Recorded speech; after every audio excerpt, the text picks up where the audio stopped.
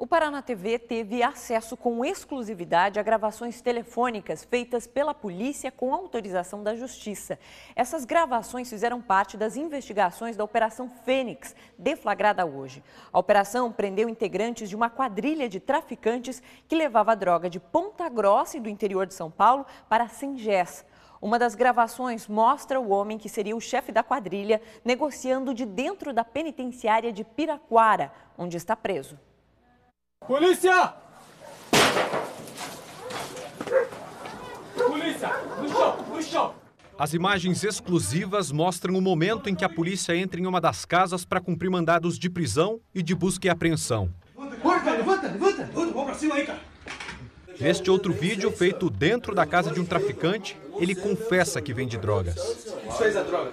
Não, vendi tudo, senhor. Não tem mais nada. Não tem. Certeza, podemos procurar. Eu só vendo essas b... é. Os policiais revistam 16 residências em busca de provas. Dentro de potes de marmita, foi apreendido dinheiro que, segundo a polícia, é da venda de drogas. A operação ocorreu no município de Sengés, divisa com o estado de São Paulo, e também em Curitiba e em Piraquara. A ação mobilizou cerca de 50 policiais civis e militares por terra e pelo ar.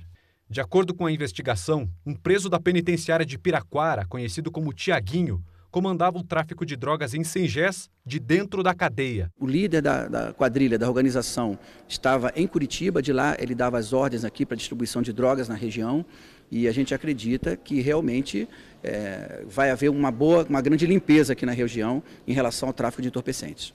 As investigações mostram que Tiaguinho agia de dentro da cadeia por telefone. Segundo a polícia, ele encomendava droga de Ponta Grossa e também do município de Tararé, no interior de São Paulo. E quem recebia a droga em Sengés e fazia a distribuição era a esposa dele, Tatiane. O delegado afirma ainda que Tatiane cuidava do dinheiro e fazia depósitos numa conta e que a quadrilha usava menores de idade. A função dela era primordial na cidade, né? porque era uma função que ele não conseguiria exercer. Ele, ela era o braço dele aqui na cidade e, e ela não hesitava em praticar o crime mesmo com criança pequena em casa, ela praticava na frente das crianças, nós conseguimos imagens inclusive disso, de venda de droga na porta de casa. Nesta gravação telefônica obtida com exclusividade pela nossa equipe, Tiaguinho conversa de dentro da prisão com outra integrante da quadrilha, conhecida como Drica. De acordo com a polícia, Drica recebia a droga de Tatiane, esposa de Tiaguinho, e passava para frente. 1.300 a branca e o, e, o, e o chá? Ah, o chá daí é 850 que falta, né? Ele deu 900. Não, 800 e pouco que falta. Quanto? Deixa eu ver, era 1.900 por tudo. Ele deu 900. Aí vai ter que ver, né? Qual que vai depositar esses 200 dele dele. Você vê, e eu vou marcar no caderninho, senão eu esqueço. Ah, não, ah. você lembra? Eu, se ligar, mano, eu não vou marcar nada. Não, marca, marca, mas é 1.900. Senão você vai falar que eu tô, eu tô roubando. De acordo com a polícia, chá significa maconha e branca é cocaína.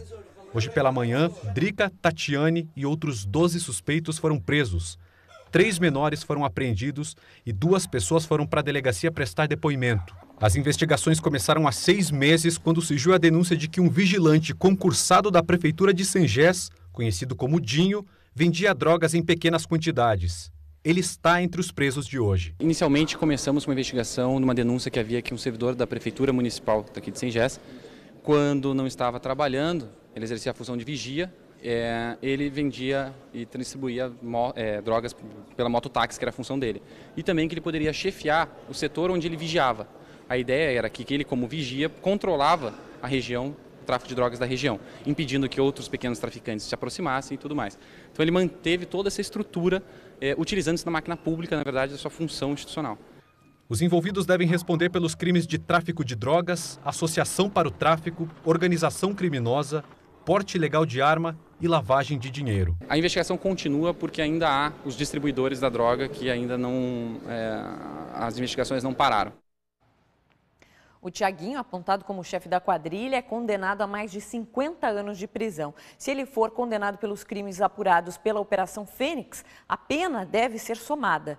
Hoje ele foi transferido para o isolamento. Nós não conseguimos localizar a defesa dos citados na reportagem. E a Prefeitura de Sengés, onde trabalha o vigilante, afirmou que aguarda informações da polícia para tomar as medidas cabíveis em relação ao servidor.